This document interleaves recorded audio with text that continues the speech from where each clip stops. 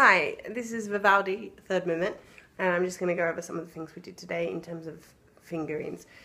Um, uh, I'm going to play from 85.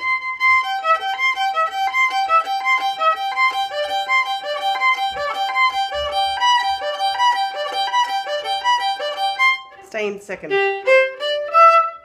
Stay up. And now you're back to first.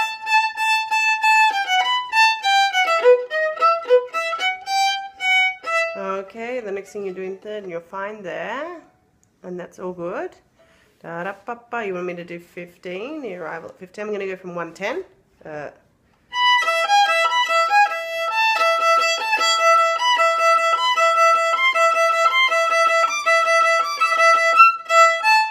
just back normal third.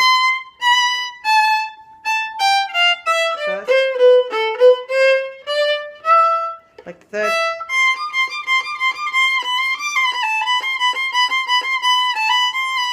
One, one, two is right next to.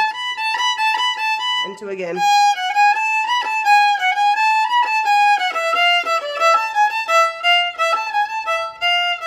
Third.